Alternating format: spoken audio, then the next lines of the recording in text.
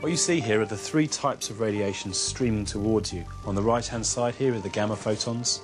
In the middle is the helium nucleus, the alpha particle, two protons, two neutrons.